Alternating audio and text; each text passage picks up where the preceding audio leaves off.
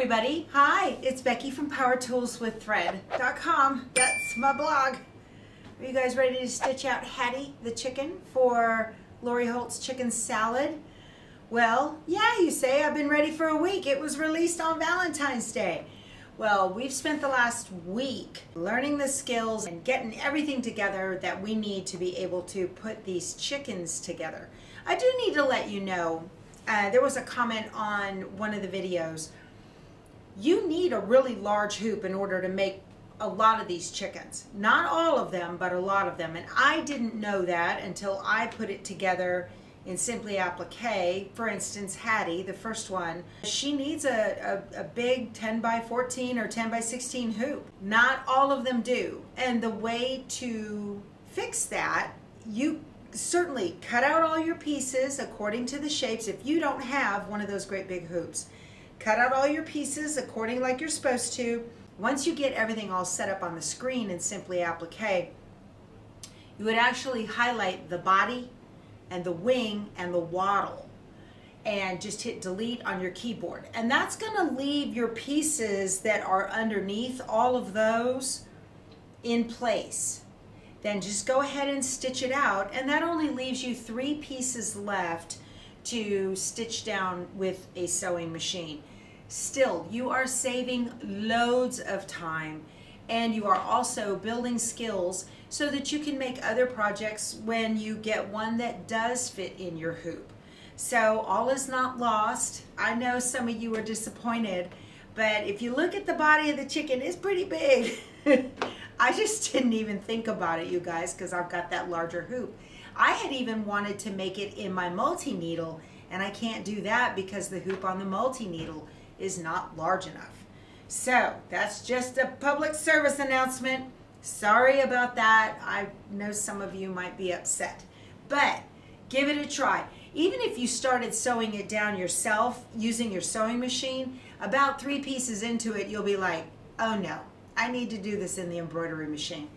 Once you get the hang of it, you will absolutely love it, even if there's a couple of pieces that you have to do the old fashioned way on the sewing machine. All right, so a couple of things I want to make note of.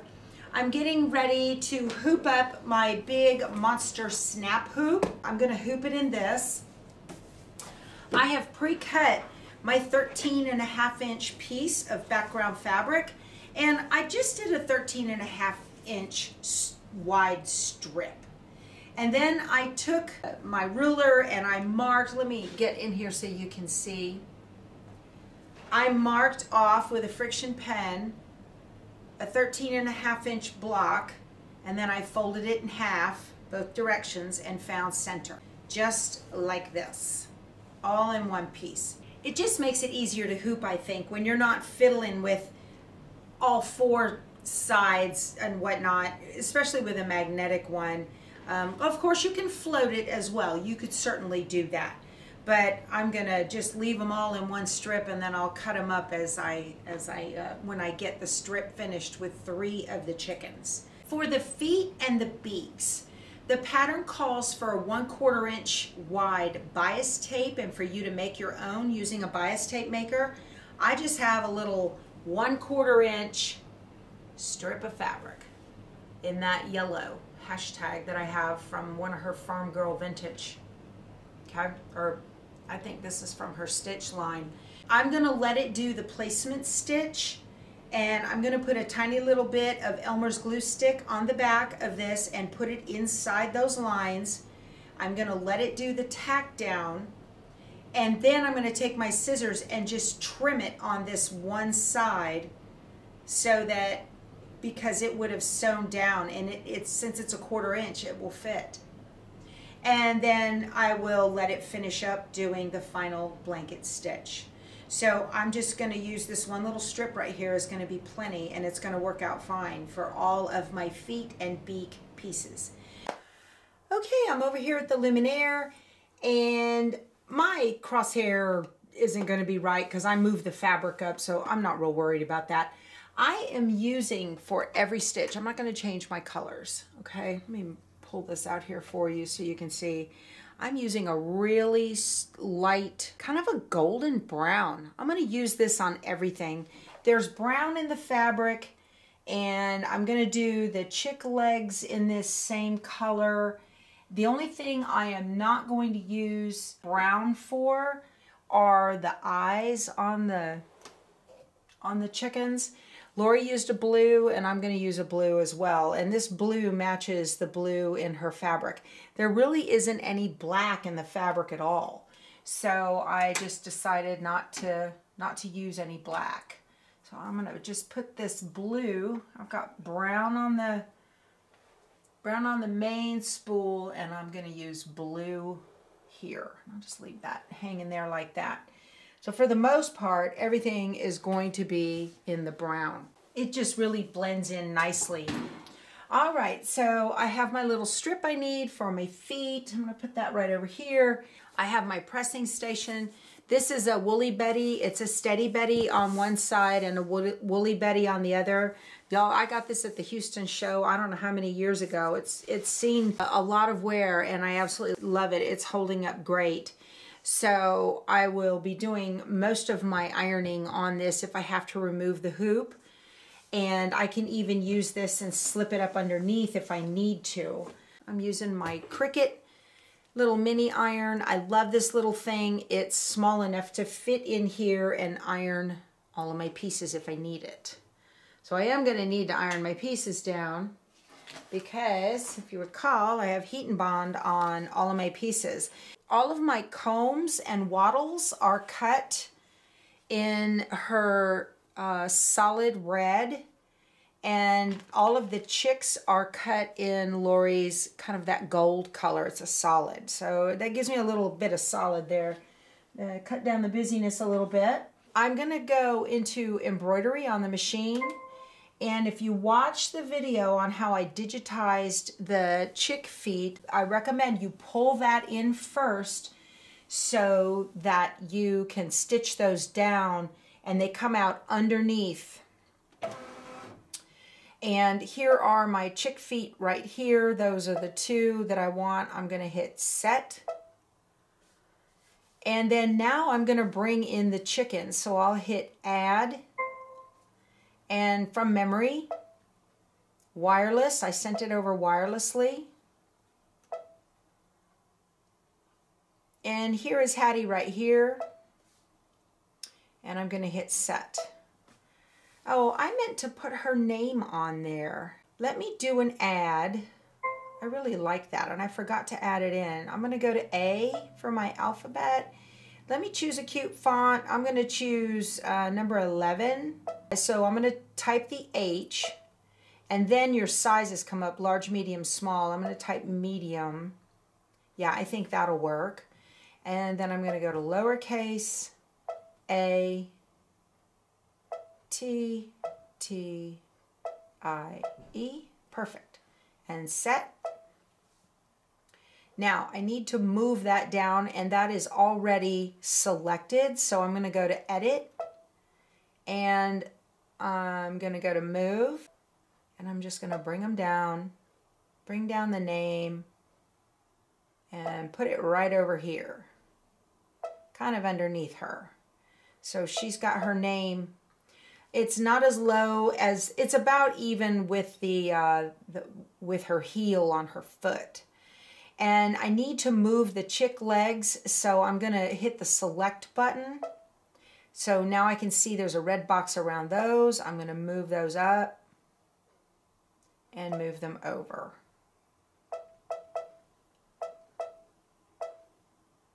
And down. Okay.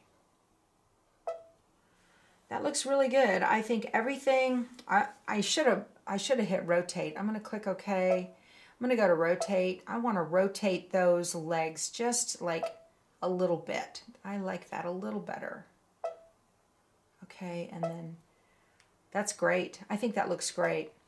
All right, so now I'm ready to go into embroidery. I'm just gonna hit embroidery. It's gonna stitch out the legs first and then we're gonna get to stitching everything and I'm not changing any colors or doing anything. Everything's gonna be in brown and uh, we're ready to get going. So let's see, I'm ready. I have a uh, Organ 7511 needle in and I have a, uh, a 90 weight white bobbin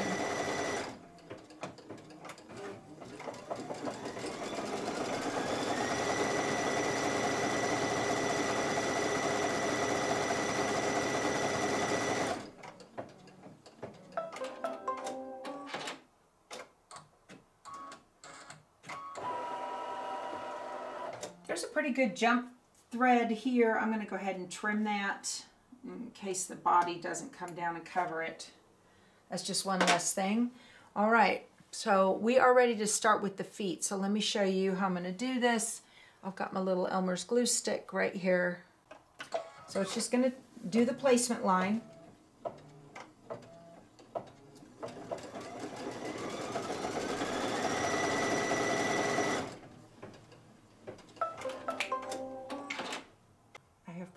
Little bit of glue on the back. And I'm going to put it right inside that placement line. Don't trim it yet. I'm going to let it tack down.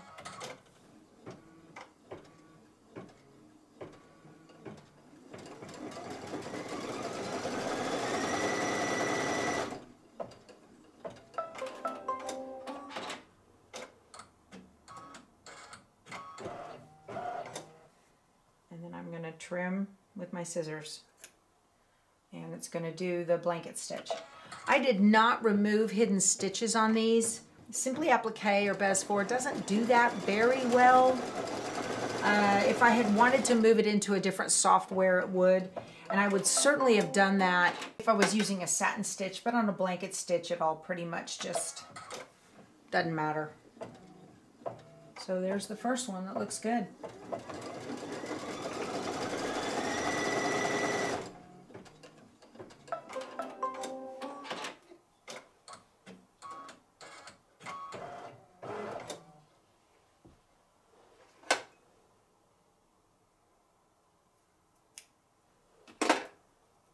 As close to a 90 degree angle as possible.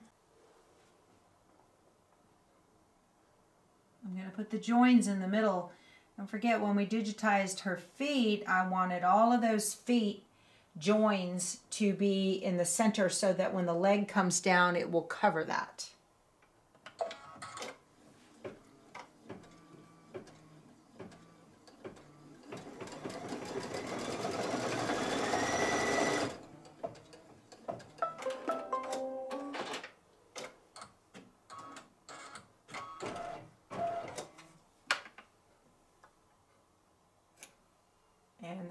Satin uh, blanket stitch.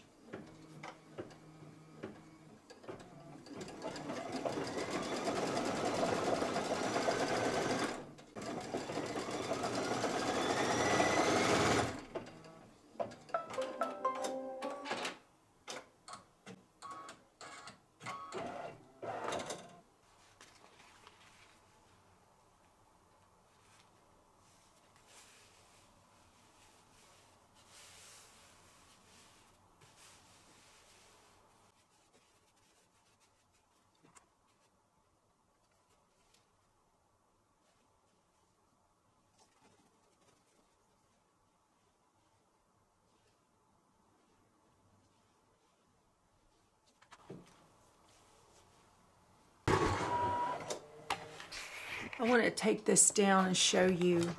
Look how precise that is. Isn't that incredible? That looks amazing. This is what makes it worth all the effort. Now, when I started, I continued to do um, the tack down stitches and then I stopped. So you can see a big difference where it looks like I have a lot of brown thread right here and here it looks a lot cleaner. So I did the placement stitch, I jumped over the tack down and then I just stitched the final blanket stitch, lesson learned. And then on the beak, I skipped the tack down as well. So I'm going to be skipping the tack down stitch on all of these pieces, on all of my chickens. It just looks amazing placement stitch for the wing.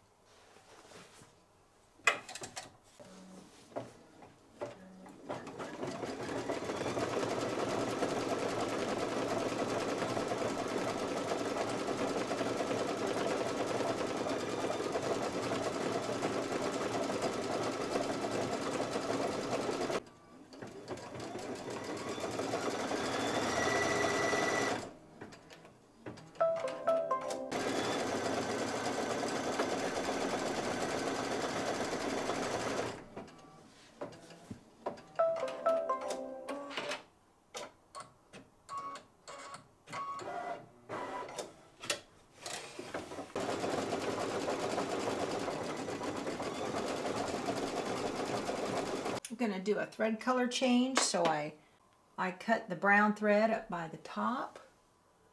And I'm pulling the tail for the blue thread. And I'm just going to twist them together and make a single loop. Pull it through. And then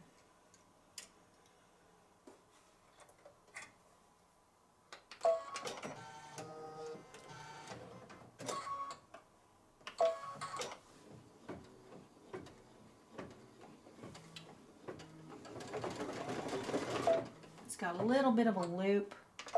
Lift the foot, cut that, get that out of there. Okay.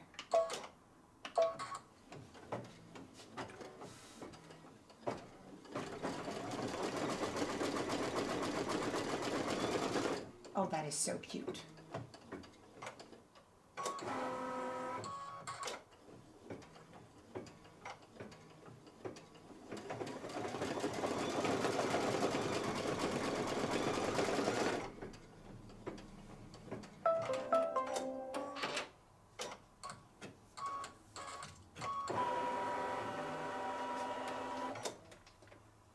Go ahead and stitch Hattie in the same blue as the eyes, I think. Or do I want it in the brown? No, I'll do it in blue.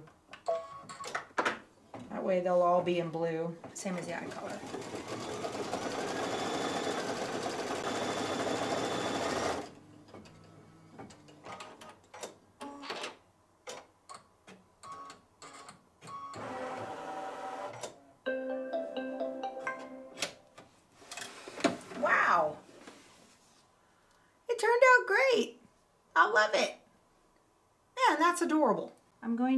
To trim up the jump threads on the letters.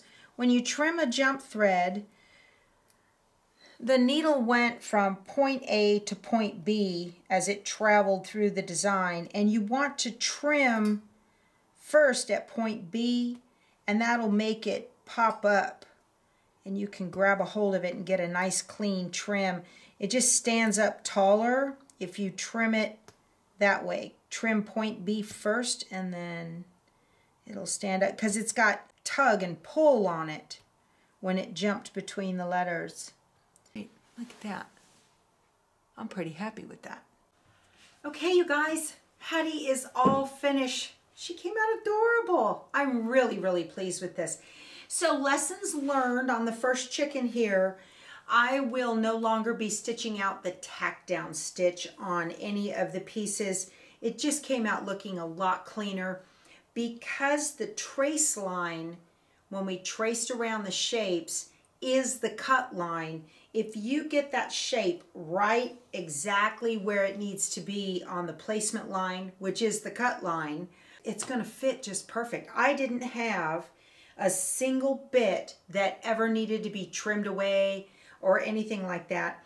And on these smaller pieces with the feet, you just get a cleaner look uh, without without doing the tack down. So I'm really pleased with this. I love the name. I think it just turned out su super cute. Let me get you in here real close so you can take a look at her. I think it came out just adorable. Okay, so I'm going to go ahead and uh, cut I think Percy is this week's and get that stitched up as well. So I need to trim this to a 12 and a half inch square. So let's do that. Okay. If you have a 12 and a half inch square ruler, like if you are a subscriber to the Creative Notions and you've got your 12 and a half inch square ruler, now's the time to pull it out I have one, but in case you guys are not subscribers, I'm going to show you how to do this. You do really want to have a, a large square ruler if you don't if you don't have a 12 and a half. You need some sort of large square ruler.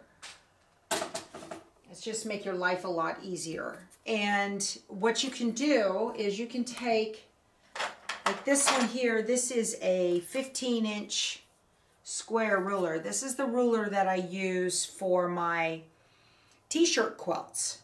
when um because my husband is ginormous shoulders and he's got great big t-shirts so I'll take a piece of washi tape and I will put it on the 12 and a half inch line like this and this makes it a lot easier for you to be able to see exactly where your 12 and a half inch square would go. So what you would want to do is now square this up and or you know center this up and fussy cut it so I would I'm looking at this and I have like uh, three quarters of an inch between the edge of the tape and the top of the comb and right at uh, right at an inch let me scooch it a little bit okay that's about even uh, from side to side and then here let's see there's an inch and a half and this is two so let me go here. There's two inches there. And there's the edge of the fabric. So that looks right. Okay. I'm at half and three quarters and a little bit more than one. I'm going to bring this up. Okay, right there. So you've got to measure the distance from the end of the fabric applique piece to the edge on all these sides. Okay. Okay. So there's that one. I'm going to turn this. Okay.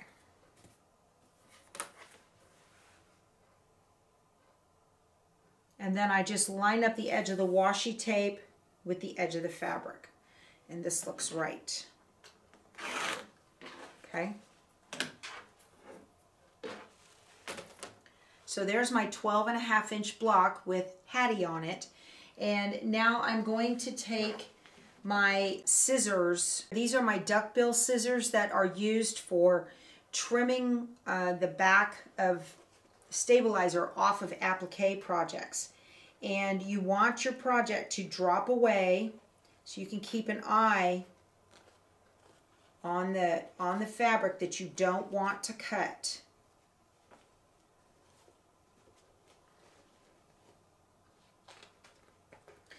If you can slice it, that's even better.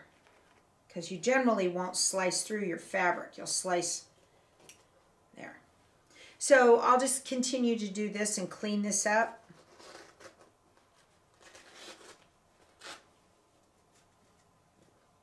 Be very careful.